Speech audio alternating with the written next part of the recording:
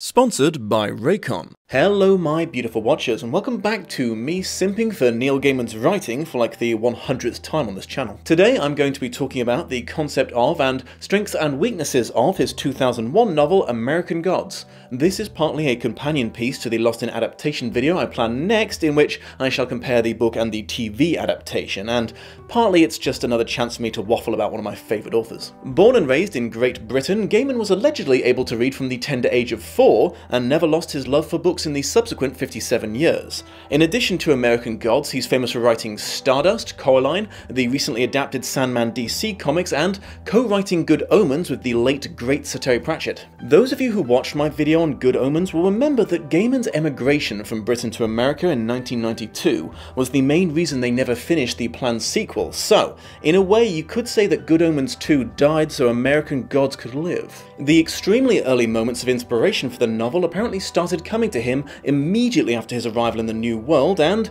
eight years later they coalesced into the finished work we shall discuss today. Well, I, I say finished, but there are actually multiple versions of American Gods because Gaiman, like many other artists, has a bit of trouble resisting the urge to attempt to improve his old work to reflect his increased skill and experience when given the chance. In his own words, a novel is nothing but a long piece of prose with something wrong with it. So, whenever limited or anniversary editions came out, he took the opportunity to add, subtract, or rewrite no longer pleasing scenes. I personally read the 10th anniversary editions, so if you notice your experience with this book's plot differs slightly to mine, please refrain from attempting to correct me. Thank you. In the vaguest of terms, the setup of this book is, unbeknownst to humanity, all the gods that have ever been truly believed in really existed and still exist to this day, and it even explains why. A concept that both Gaiman and his BFF Sir Terry often played around with in their writing is the idea that gods are created by worship, not the other way around. Human belief is a tangible power, a magical energy that these beings are born of and shaped by. They assume the image the personality that people believe that they have, and the more worship that's directed towards them, the more powerful they become. This is, in a nutshell, the explanation for the traditional old gods, however, they are not the only players in this story, as Gaiman also explores the meaning of worship as a concept, and the idea that any form of extreme devotion or homage could count as a form of worship. Take modern media, for example. A massive part of the first world spends the majority of their lives thinking about it, willingly offering up their money for it, spending hours upon hours each day sitting before it, consuming its messages, which they will then consciously or subconsciously apply to the way they live their lives. Gaiman is not the first person to notice the fine line between a fandom and a religion, but he takes it one step further by combining it with the before mentioned idea that worship creates magical beings to personify a belief. So, if idols, animal sacrifice, prayers, buildings, and services can cause an immortal being to form and be sustained by it,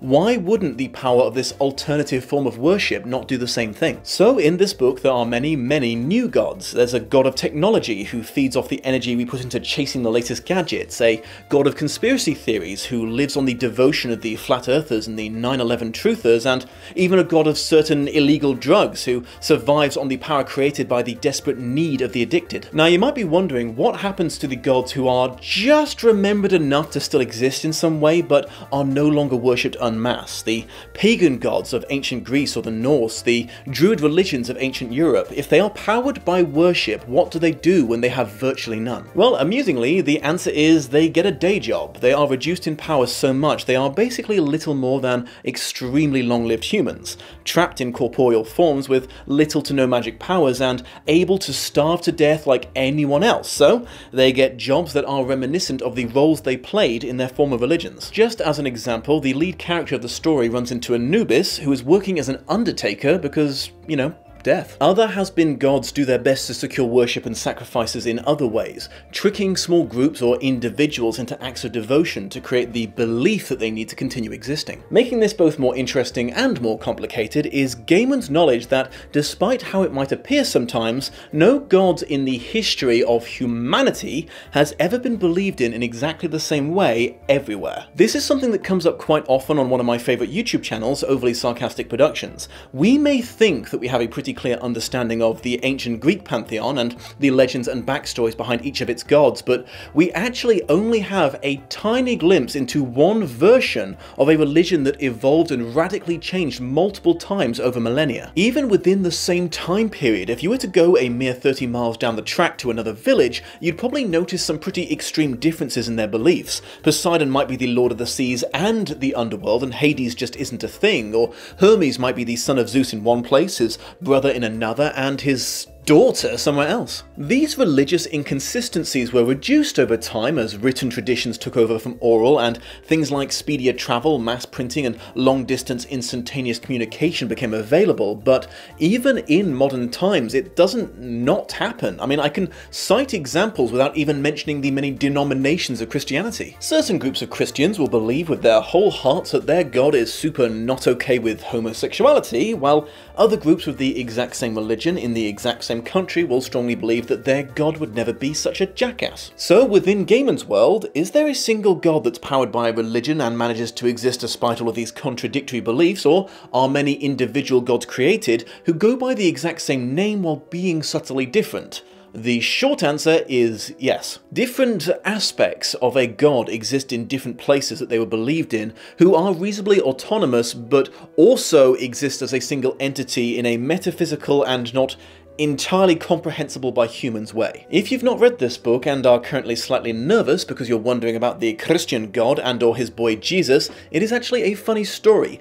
Gaiman wrote in a scene in which JC shows up for a chat with the lead and has apparently agonized over it ever since, taking it out and putting it back into the story with every new version of the book. In the one I read, it was not in the main plot, but Gaiman included it in an addendum at the end. Gaiman borrows from multiple other religions from all over the world, but as his publication history may suggest, he is a big old Norse mythology nerd first and foremost, so many of the key players of the story are from that pantheon. Spoiler warning, not Thor though, because he is dead by suicide before the book even starts. Tiny side note, please forget any assumptions you might have formed about these myths and legends based on the Marvel Cinematic Universe. I like those films too, but they and the comics they're loosely based on were not in any way interested in historical or theological accuracy. Slightly less tiny side note, aka a, a ramble, I've noticed that those of us who grew up in a predominantly Christian country have real trouble getting it through our heads that other religions don't insist that their head honcho be an all-powerful, predominantly wise and benevolent father figure. In relatively recent times, the average awareness that Zeus was actually a single brain-celled fuckboy arsehole has dramatically risen, but it can still catch people off guard to discover that Odin the All-Father was way more of an immature, game-cheating trickster god than a role model. Gaiman, of course does not make this mistake. While the plot of the book is obviously original, and he factored in that they were long past their heyday, it still seems like like he went to extreme pains to make his characters' personalities and behaviours as true to the original myth counterparts as possible, so Odin is a horny, double-dealing, truth-bending old con artist. I usually like to include a good synopsis in my videos to bring those who have not read the book up to speed and jog the memories of them that read it many a year ago, however it's always more difficult to do that with the work of writers as good as Neil Gaiman because while you could make the argument that some scenes go on for a little longer than is strictly necessary, he doesn't add any completely irrelevant fluff to his book that's not worth mentioning at all, so a sensical summary of the plot tends to drag a little bit. All that is just to say, bear with me, okay? The story's protagonist, a gentleman with the unusual designation Shadow Moon, starts the story on the cusp of being released from prison, only to discover that his beloved Laura, the wife who had been waiting for him during his internment, died in a car accident the literal day before his freedom. On the flight back to his home state, he's seated next to a mysterious older gentleman who introduces himself as Mr. Wednesday and offers him a job as a henchman. Shadow declines as he believes that his best friend has a job waiting for him at his gym. Norse mythology fanatics will have already identified this new guy as Odin at this point, as Wednesday started life as Odin's Day before thousands of years and changes of languages garbled it somewhat. On a later stretch of the journey, Shadow runs into Mr. Humpday again in a dive bar, and this time the old geezer doesn't pretend to not know all about him and his life. He informs Shadow that there is no work waiting for him at home as his best friend died in the same crash that killed his wife. With nothing left to lose, Shadow agrees to work for him, accepting three shots of mead to seal the deal. They're joined by a tall Irishman by the name of Mad Sweeney, who provokes Shadow into a fist fight and gives him a gold coin for winning. Shadow starts having weird dreams about animal men telling him that he has to believe in things, and this continues for the entire story. His new boss gives him some time off to go to his wife's funeral, which is even suckier than one might expect because Audrey, his best friend's widow, reveals that her late husband was having a long-term affair with Laura, and in fact it was ill-advised high-speed hanky-panky that led to the accident. On a whim, Shadow leaves the coin that Mad Sweeney gave him in his wife's grave as a final parting gift. Things continue to suck hard for Shadow, this is a recurring theme throughout, so get used to it, as he is temporarily kidnapped by a new god, Techno Boy, who has his minions rough him up to send a message to Wednesday that the new racket in town isn't going to put up with him and whatever he's planning. Wednesday himself is not particularly excited to hear about this. That night in his hotel room, Shadow gets a very unexpected visit from his dead wife. It's not entirely spelled out at first, but apparently the gold coin that he left with her was magical enough to raise her from the grave as an intellectual but still kind of smelly zombie. She admits to the affair and promises to keep an eye on him going forward. Wednesday is once again not particularly excited to hear about the very weird shit going on in Shadow's life. Wednesday then has Shadow drive them to Chicago to recruit someone for this big plan that he's still not bothered to fully explain to his lackey. There they meet Chernabog, a retired cow slaughterer who misses the good old days where they used to kill the poor buggers with a sledgehammer instead of a bolt gun, and his wards the Zorja sisters. I'm, I'm sorry, you guys know I'm very bad at pronouncing things. Chernabog, who is a Slavic deity, doesn't really give a shit about Wednesday or his plan, which is starting to look like a war against the new gods who he believes will attempt to wipe out the old soon, so he only joins the quest after he wagers his support in a game of checkers with Shadow. Unfortunately, Shadow wagered letting Chernabog hit him on the head with his sledgehammer, and they both won a game, so after this war is over, if they're both still alive, the old man gets to smash his brains out. That night, Shadow follows one of the sisters up to the roof and hears about the ancient monster that she and her sister's constant visual keeps locked in the stars and receives a blessing from her in the form of what is either a moon, a silver liberty coin, or both. The next day, Mr. Wednesday and Shadow use a two-man con job to rob a bank, and Shadow, without really understanding how, summons a snowstorm by thinking about it really hard. The posse then travels to a seemingly inconsequential tourist trap in the middle of nowhere, where they are joined by an African gentleman by the name of Mr. Nancy. Shadow finally gets undisputable proof that he's wrapped up in some supernatural shit when they ride a carousel and are transported to a Norse long hall where all manner of inhumanly shaped gods are gathered. Odin makes a valiant attempt to convince them that war with the new gods is brewing and they need to unite against them,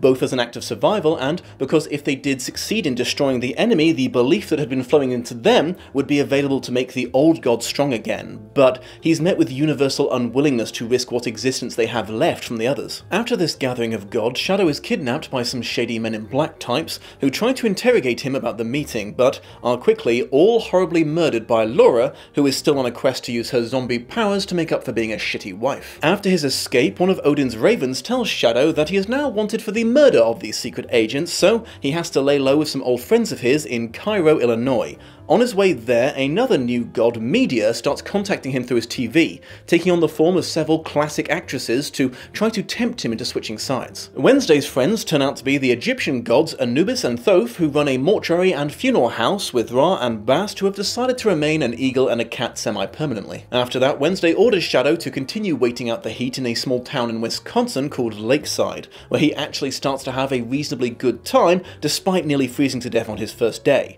making friends with Chad, the local sheriff, and a kindly old man named Herschel. Herschel. He ends up staying there for several months, during which the book's biggest non-main plot-related sub-story takes place, as Shadow slowly starts to uncover a dark secret about the annual disappearance of young teenagers in the town that's been happening for centuries. However, before this sub-arc can be resolved, Audrey of all people show up and identify Shadow, forcing Chad to take him into custody. While he's in jail, the new gods contact him for a TV and show him a meeting between themselves and Wednesday in which they violate the flag of truce and assassinate assassinate him. Shortly later, Chernobog and Mr. Nancy bust him out and explain that Odin's cowardly murder has had the opposite effect that the new gods were hoping for and has finally rallied the old gods into mobilizing. Meeting under a more enforceable flag of truce, they retrieve Odin's body and Shadow runs into the new god's leader. He's understandably shocked on multiple levels, firstly because it's an old cellmate of his, and secondly because his name is Low Key, and now that Shadow is used to every person he meets being a god, he recognizes that for the rather half-assed pseudonym for Loki that it is. Supposedly, Loki is just jumping onto the winning team, but more on this later. Norse tradition requires someone to sit vigil for Wednesday, which apparently involves being tied naked to the world tree for nine days. Despite the fact that this will 100% definitely kill him, Shadow insists on doing it himself. While dangling there, he has multiple visions and revelations, including that Wednesday was his biological father, and then he dies because, of course he does, he's, he's a human, he's been tied to a tree for a week.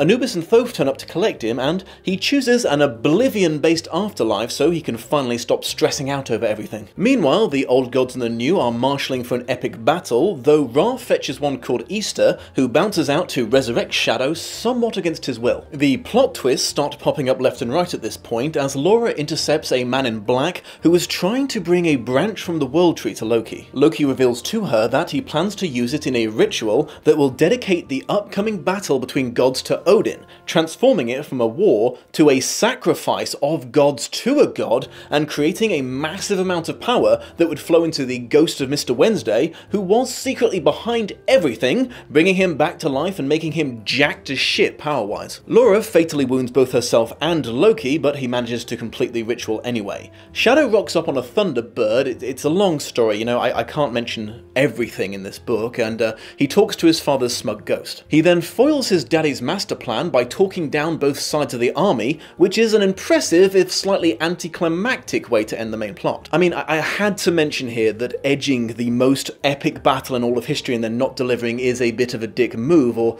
people would have accused me of playing favourites. Shadow comes across poor Laura and fulfills her request for a true death by taking back his gold coin. He then briefly goes back to Lakeside to resolve the whole children disappearing thing. Spoiler, it was the nice old man all along. Um, it's a lot more interesting than I'm making it sound, trust me. And fortunately for Shadow, Chernobog has grown fond enough of him to only tap him lightly on the head with his hammer, and then in the epilogue he travels to Sweden to meet the OG version of Odin. Sprinkled in amongst all this are little short stories about the different immigrants who brought certain gods to America inside their minds and memories, and therefore trapped an aspect of them in a land in which they would never thrive in the way they did in other nations over the millennia. Apparently Gaiman wrote these as a way of breaking himself out of the writer's block that he occasionally got regarding Shadow and the main plot. And now a quick word about this video's sponsor. Due to a combination of ADHD and just being a very impatient person in general, unless I am doing something that specifically prohibits me from doing so, I am always listening to an audiobook or podcast, so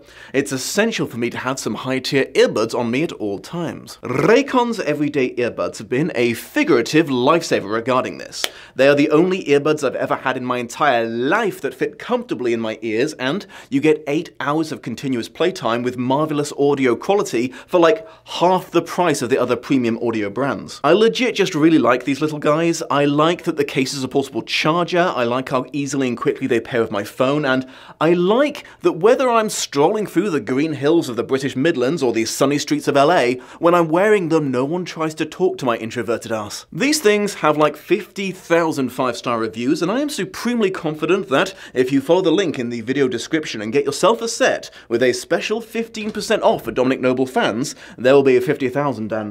TLDR, really solid earbuds by raycon.com slash Dominic Noble, 15% off. Apparently, while the majority response to this book was overwhelmingly positive, it did have some backlash, and how dare you was a common question presented to Gaiman when this feedback reached him. Sometimes it was in regards to him co-opting real life and sometimes still practicing religions for his fiction, other times it was pertaining to the sheer gall of an Englishman who dared to write that consumerism or media obsession might be as prevalent a religion in America as Christianity, or sometimes it was just that they agreed with the sentiment but felt he missed the mark and music was the true alternative thing worshipped in the States. Regarding his nationality, Gaiman has mentioned that this was a feature, not a bug of his intention. He wanted to write about the parts of America and American culture that the Americans themselves might not be fully aware of or want to acknowledge, a task that is only possible to a relative outsider. And to be fair, it sounds like he really did his homework. He took a road trip across the US along the route that he had planned for Shadow, so he could absorb all the Americanness to the extreme and avoid writing about a place he had never been to. Yes, imagine doing that. The music comment I can only find amusing as someone who also puts his opinion and interpretation of things out there for the public to consume. You do get a lot of feedback from people who have trouble realizing that their personal experience or headcanon might not be universal. Speaking of my personal opinion, Shadow can be a bit of a hard protagonist to well, not to like, I think it's perfectly possible to like him, but I found him a hard person to be in the head of because he's just such an exceptionally sad man. I mean, for good reason, he's had a pretty hard life, he's served hard time, and he loses his wife in the opening chapter, then finds out she was cheating on him. It's not surprising he spends a good deal of the book not really caring if he lives or dies, e.g., being willing to bet a head splattering death at checkers and literally crucifying himself on a tree. I should mention, though, he doesn't whine or feel excessively sorry for himself in a way that would make him annoying. He's just it's just really, really sad all the time, and it can be a bit rough to be along for the ride for that, you know? This book is super fun for anyone with even like a basic pub quiz or casual OSP fan level knowledge of Norse mythology, because you keep having Leonardo DiCaprio meme moments when you recognize who someone is through context clues. The best example being right at the end when Loki makes a reference to killing Shadow with mistletoe, which, combined with the earlier revelation that he's one of Odin's sons, tips you off that our hero has been an incarnation of fucking Balder this whole time. And finally, funny fact, American Gods was supposed to just be a working title, but young Neil just never thought of a better one. Thank you for joining me, my beautiful watchers. Tune in next time to see a breakdown of what elements of this book the TV adaptation stuck to. Don't forget to check out my Patreon page for an ever-increasing amount of exclusive content, and take care of yourselves. Your boy worries.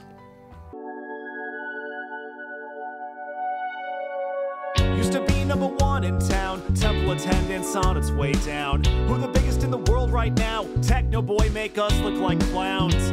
Bring me a goat or a pig, sacrifice cause fuck all them kids. Now we start with the worshipping. Here comes the part with the unbirthing. Come and join the club, you can't call me Wednesday. I just need to get my fix of piety. I really want to rule over you. I'll your American God. American God. Much love and appreciation to my patrons of honor, Shelby Holtz, Atel Spurdloff, and Trace Carter. Shout out to Il Neige for the credits music, check out his channel for more parody and original songs, and a huge thank you to this video's editor, Sophia Ricciardi, links to her work in the video description. One advantage of being back in Britain for a bit is, you know, decent fucking beer. And before anyone says anything, we it is chilled. We don't know where you got this warm beer idea from. Chanel. Not used to working with pants on either. Just my parents' place, so it seemed respectful to wear them. Not entirely sure what's going on in my brain right now, but it is fascinating.